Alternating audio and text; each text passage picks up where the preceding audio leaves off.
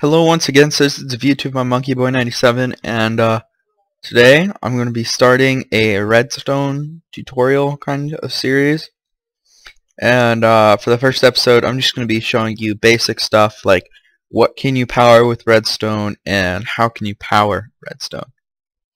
Now the most basic way of powering redstone is a torch and then you can extend it by placing repeaters, extend the current. See, just like that. Now you can power redstone with a torch, a lever, button, pressure plate. This is all uh, the these tripwire hooks. Also power redstone with, but you need the uh, the string in the middle here. Uh, now you can power. You can use these things to power like these this trap door here, this fence gate, uh, regular doors can also be powered. Iron doors, see, powers the iron doors. Can also make powered lights. Can also power your tracks with it. Pistons and sticky pistons, they have to be powered through the back.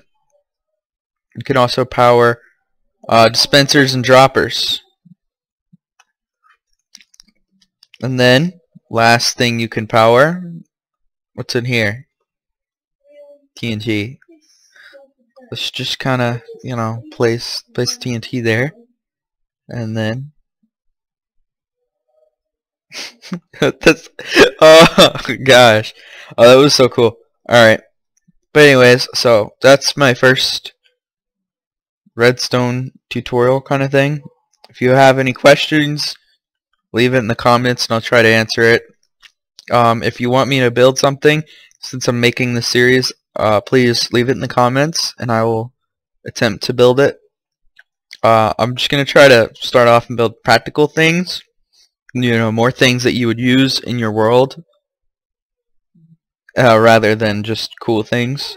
Because I, I like I like being practical.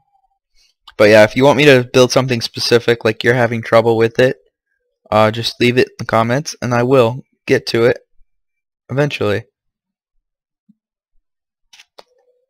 Alright, well, I'm MonkeyBoy97 and I will see you later.